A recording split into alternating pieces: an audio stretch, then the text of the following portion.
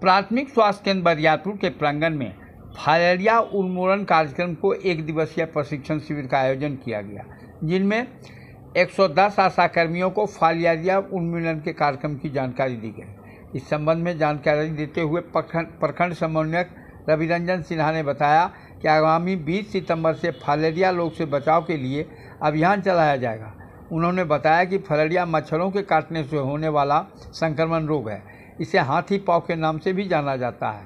जहाँ रवि रंजन सिन्हा के साथ दो और प्रशिक्षक बीबीडीएस आशीष कुमार सिंह और केयर से नटराज सिंह प्रखंड समन्वयक ने आशा कर्मियों को रोग से बचाव के हेतु और दवाई वितरण की प्रक्रिया बताई। पब, गुप्त न्यूज़ के लिए बरियारपुर से नरेश आनंद की रिपोर्ट। सर, आप अपना परिचय बताएँ।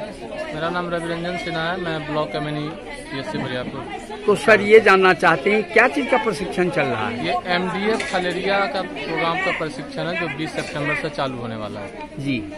तो उसमें जो भी फलेरिया से ग्रसित हैं उनको आशा घर घर जाके दवा खिलाएगी। जी।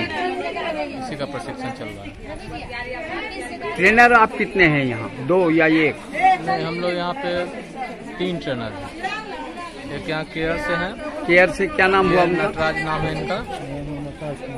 और एक है हमें किट अति बीबीडीएस है आशीष कुमार सिंह ट्रेनर में वो भी है। जी। और एक मैं हूँ। ठीक है। आपका अपना परिचय बताएँ। मेरा नाम नटराज कुमार हुआ और मैं केयर इंडिया से ब्लॉक कोऑर्डिनेटर भी और यहाँ आशा का एमडीए के लिए, के लिए ट्रेनिंग दिया जा रहा है जो कि 20 सितंबर से स्टार्ट है। इसमें आशा को ये जानकारी दिया गया कि एल्बिंडाजोल और डीईसी का गोली उम्र के हिसाब से देना है, जिस, जिसमें कि मान लीजिए और ज़्यादा। धन्यवाद